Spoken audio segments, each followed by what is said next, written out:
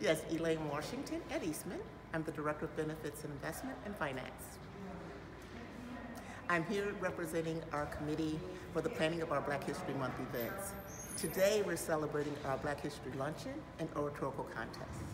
The Oratorical Contest allows students from throughout this region, high school students from throughout this region, to submit essays to Eastman. The essays are written to show the contributions of African Americans to STEAM. We started this contest about six years ago. We started receiving 25 essays in that first year. This year we aim to have over 170 essays, and in total since our beginning we've had over 600 essays from students throughout this region.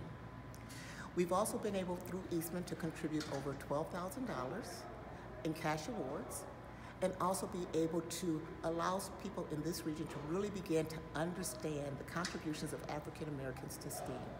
We think this is really done through our students, and so when the students write an essay, they begin to embrace that person and they talk to their parents, they talk to their family, they talk to their friends.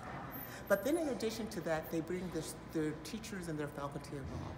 And we believe through this engagement, people in this region will have a better understanding of African Americans' contributions. And if you could uh, tell us exactly, STEAM is science, technology, engineering? Arts and math. Okay. Anything else? I think that's it. I, I, I close this year by saying that we have close to 100 to two, well, probably 200 people attending the luncheon. And this year we are so happy that we had two grandparents to come that were not even on our invitation list.